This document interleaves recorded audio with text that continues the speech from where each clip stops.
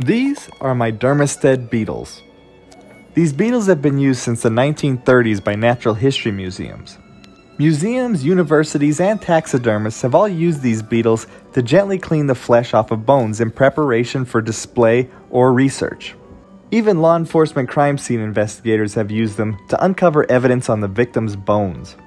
But I plan to use them to create unique art